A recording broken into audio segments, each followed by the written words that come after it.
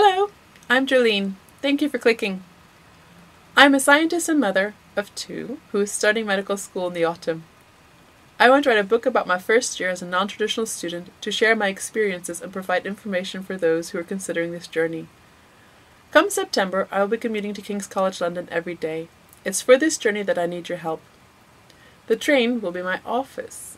It'll be where I prepare and revise for my classes. It'll also be from where I update you about my progress via the blog and work on the book, White Coat, Bluestocking. So, why me? Why now? At 17, I was certain that I would become a physician working with the most vulnerable.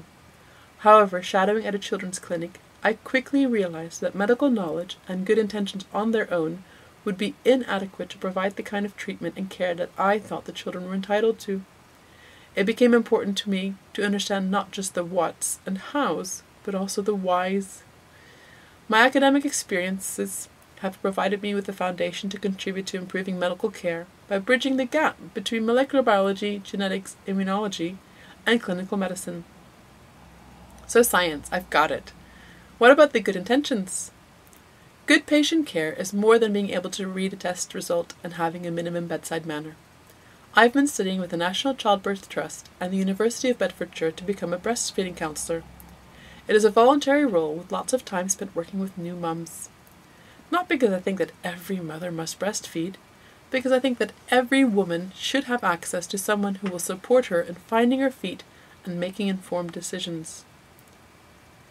Why am I making a direct appeal? Why am I asking you for your help?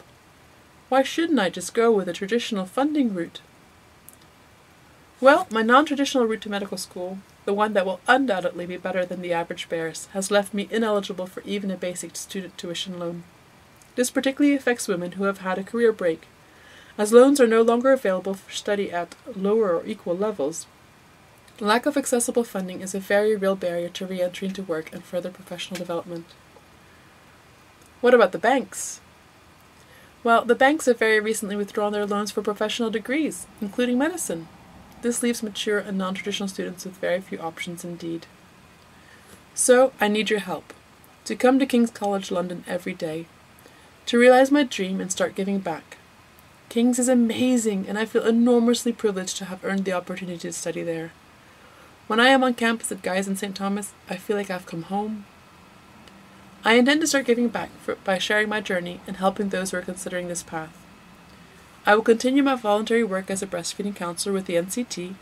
I'll undoubtedly dive into many other projects. And I will write a book about it all White Coat, Bluestocking. This is just the beginning of the journey that I am undertaking.